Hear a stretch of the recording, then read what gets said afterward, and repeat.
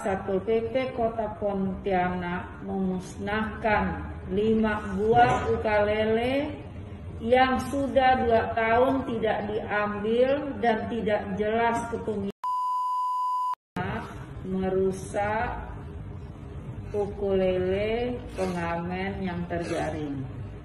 Berita ini tidak benar. Yang benar adalah Satpol PP Kota Pontianak memusnahkan lima buah ukulele yang sudah dua tahun tidak diambil dan tidak jelas kepemilikannya.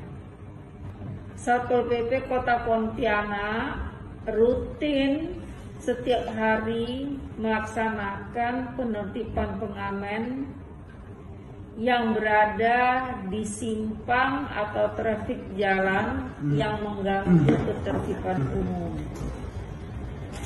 Terhadap pengamen yang terjaring dilaksanakan pembinaan oleh Dinas Sosial Kota Pontianak dan Dinas P2KB P3A Kota Pontianak melalui plat di Kota Pontianak. Assalamualaikum warahmatullahi wabarakatuh. Menyikapi viralnya berita pengurusakan ukulele oleh Oknum Satpol PP Kota Pontianak,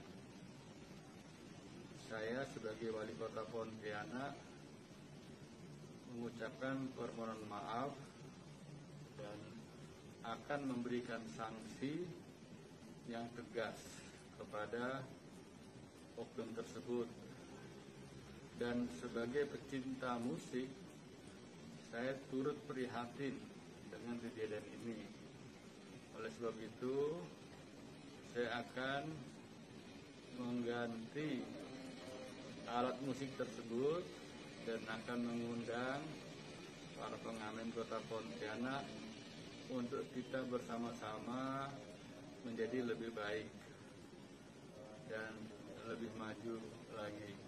Assalamualaikum warahmatullahi wabarakatuh.